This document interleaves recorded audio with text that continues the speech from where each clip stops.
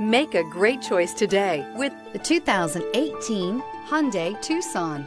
The Hyundai Tucson is Hyundai's first CUV to be designed in Europe. Tucson takes the boxy utility vehicle and transforms it. With flowing curves, graceful lines, and style to spare, it's the future of the crossover.